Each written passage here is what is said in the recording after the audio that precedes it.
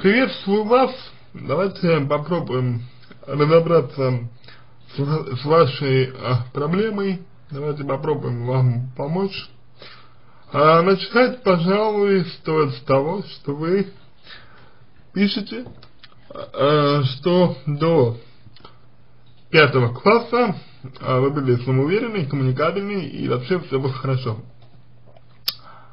А потом, после того, как к вам начал приставать а, одноклассник, а, вы немножечко поменяли свое а, мироощущение, значит, и после пятого класса к вам одноклассницы начали э, относиться плохо, стали вас обзывать, унижать и так далее. Ну и, собственно, с этого момента у вас все пошло наперекосяк.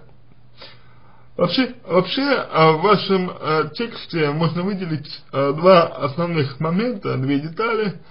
Первая деталь это вот, собственно, инцидент после пятого класса, и вторая деталь это инцидент после того, как вы уже э, старались не конфликтовать с той одноклассницы, что сидела с вами, потому что вы боялись, что вас подумают, а после того, как поступили в ВУЗ, начали общаться с одногруппницей, она стала вас игнорировать.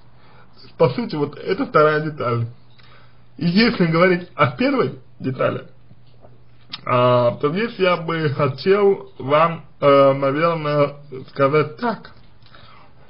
Э, дело в том, что когда на вас э, начал наезжать мальчик из вашего класса, вы сделали совершенно а, правильно, а, что не стали обращать внимание на его а, поведение. Потому что мальчик приставал вам, к вам, точнее, просто как мальчик пристает к девочкам, это нормально. Но вот когда одноклассницы стали к вам э, приставать, и вы не дали, условно говоря, им отпора никакого, вот это э, вас характеризует, к сожалению, достаточно плохо. Почему? Спросите вы. Дело все в том, что вы э, позволили этим э, людям обращаться с собой достаточно э, плохо, негативно, а главное так, как э, по сути дела хочется им, но не так, как, э, например, хотелось бы вам.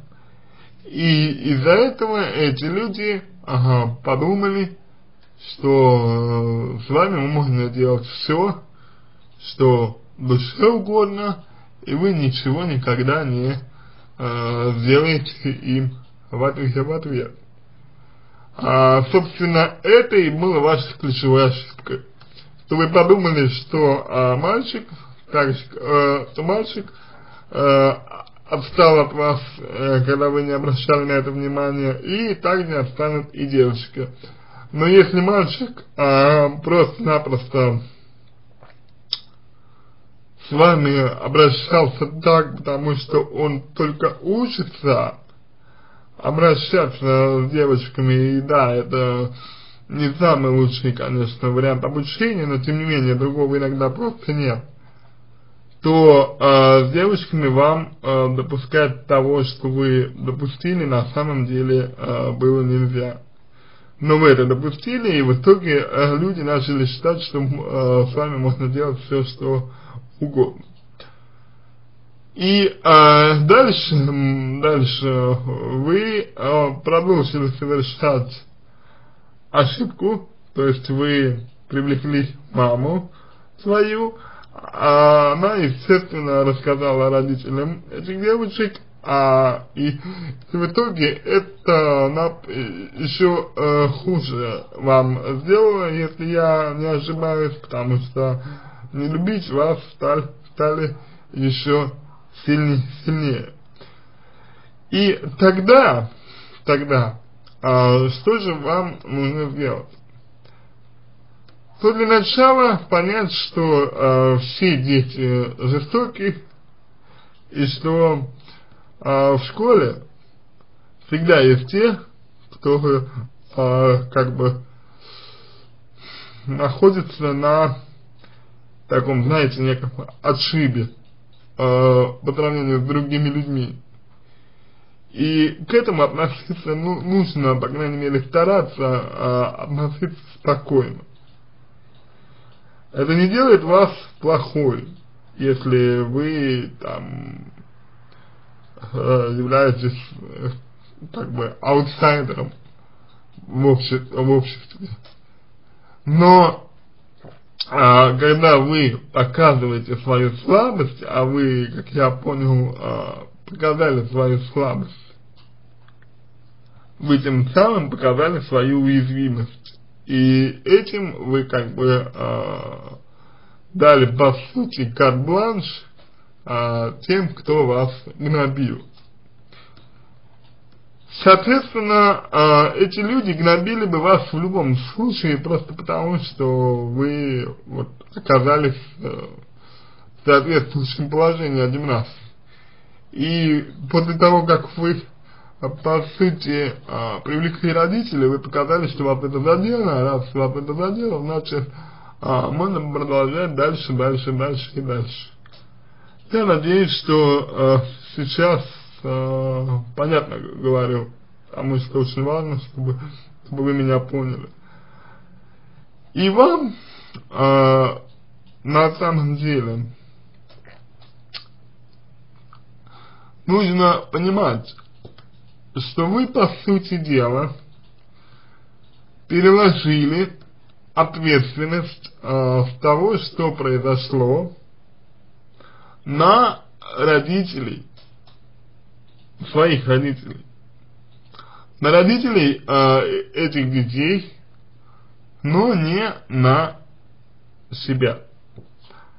А правильно было, было бы как раз таки принимать ответственность на себя и, э, условно говоря, бороться за э, свою самостоятельность и за э, место в обществе собственными силами. Но вы этого не сделали, и в результате у вас а, получилось то, что а, получилось. Вы начали бояться после этого, а, после того, как эта вся ситуация была, вы начали бояться, что о вас будут а, плохо думать. И начали стремиться угождать людям. Угождать людям вы начали стремиться потому, что думаете, что вы плохая, что вы виноваты, что это ваш э, дело, э, вас, именно вас э, дело, э, из-за чего э, вы подвергались э, давлению и прессингу со стороны своих одноклассников. На самом деле, э, это происходило не потому, что вы а, какая-то плохая, или вы делали что-то не так, или как-то еще. А просто потому, что одноклассникам а, в их возрасте всегда нужен кто-то, на ком можно было помещать а, агрессию, на ком можно было помещать какой-то негатив и так далее. И дело не в вас. Вы от этого а, хуже не становитесь. А, от того я имею в виду, э, что вас, на вас давят. Но не нужно принимать на свой счет э, то, что с вами происходит. Вот это неправильно. Думать, что вы чем-то хуже других, думать, что вы э, недостойны чего-то, чем другие и так далее. Вот этого делать не стоит.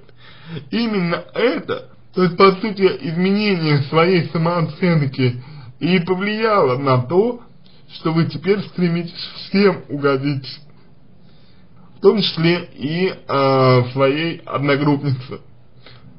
А что видит одногруппница?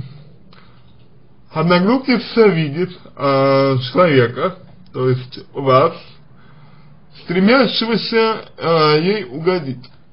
То есть, по сути, лебезящего перед ней. И, естественно, это не вызывает э, желания как-то с вами общаться, э, ну, я бы сказал, общаться, знаете, как на равных общаться. Потому что одногруппница видит, что вы готовы для нее на все, значит, вы в себе не уверены, значит, а, вас можно не воспринимать всерьез.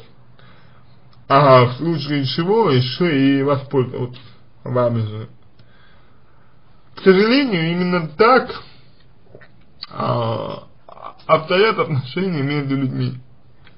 И чтобы такого не было, нужно себя любить, нужно э, нести себя достоинством, нужно не позволять э, вытирать об себя ноги и не позволять вести себя с тобой так, как вам не нравится.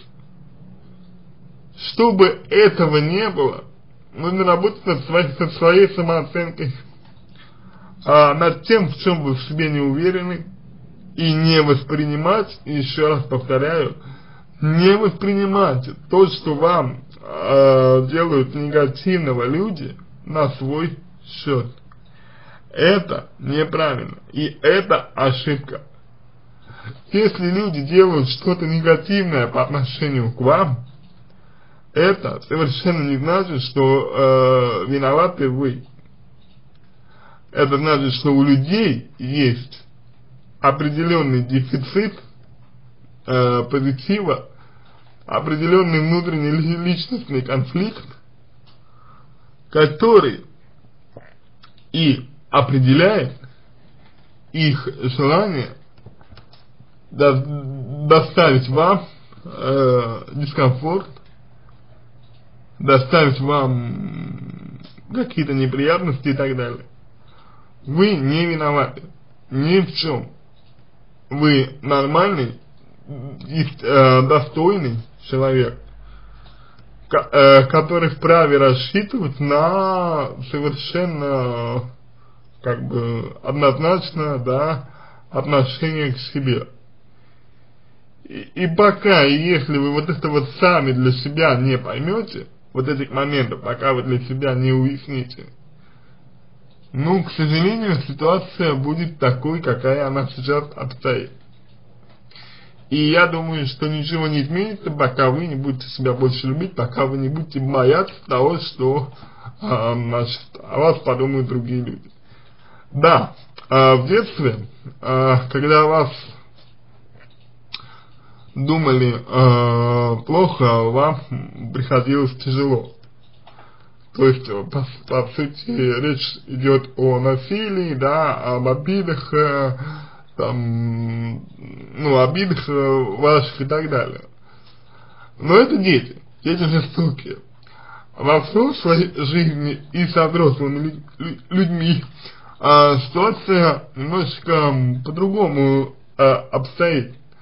В ней вам а, важно уметь себя защитить в ней важно уметь э, себя подать, поднести и сделать это правильно. И тогда, если у вас это получится, то вам обеспечено нормальное к себе отношение. А еще для того, чтобы э, э, не, боя, не бояться, что подумают о вас люди, э, нужно вообще-то говоря себя спросить, а что же, собственно говоря, вы хотели бы э, получать от этих людей. Что вы получаете, когда они о вас думают хорошо, или и наоборот, что вы теряете, когда они думают о вас плохо? Вот попробуйте ответить на этот вопрос, и уверен, а, вам будет гораздо легче разобраться в себе. Собственно, а, это в общих чертах а, то, что я хотел вам а, сказать. Как бы работа с вами она, естественно, нужна. Нужно определить ваши слабые стороны и ваши сильные стороны. Нужно понять, э, в чем именно вы в себе сомневаетесь, подумать, как, как лучше э, это купировать, как лучше от этого избавиться. Э, нужно по возможности, конечно, определить, э, как бы вас личностно расти дальше, чтобы не зависеть от людей вокруг вас. То есть, вообще говоря, работа для, э, ну, для психолога, да, э, есть. Ее, в принципе, более чем достаточно в данном случае. Здесь вопрос в том, захотите ли вы а, работать. Весь вопрос в том, захотите ли вы э, работать над собой и захотите ли вы улучшать э, свою жизнь к лучшему. Это уже зависит целиком и полностью от вас. Я надеюсь, вы решение примете верное. Надеюсь, что э, в случае чего обратитесь э, ко мне, я буду рад вам э, помочь, если вы считаете э, мою помощь уместной. Ну а вам я хот хотел бы э, порекомендовать, вот как можно меньше зависит от мнения других людей. Оно обусловлено, это мнение других людей, всегда э, самими людьми. Не вами, не тем, э, как вы себя ведете, а именно самими людьми. Те, кто не хочет понимать э, другого человека, тот никогда другого человека не поймет. Тот, кто хочет понять э, кого-то другого, тот всегда этого человека поймет, всегда.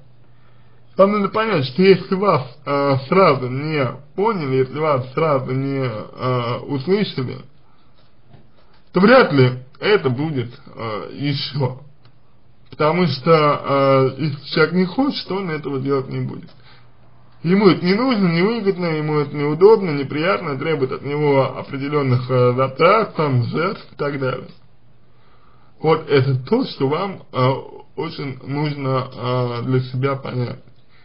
И э, людей, которые э, будут с вами, их будет на самом-то деле не так много. Людей, которые действительно будут с вами. А, но те, кто будет, будут принимать вас так, такой, какая вы есть. А чтобы вас принимали такой, какая вы есть, вам нужно действовать, а, исходя из своих желаний, интересов и стремлений, а не ориентируясь на мнение других людей. Поэтому все, надеюсь, что помог вам. Если какие-то вопросы остались, обращайтесь в личку помогу. Если вам понравился мой ответ, буду благодарен, если сделаете его лучшим. Желаю вам всего доброго и удачи.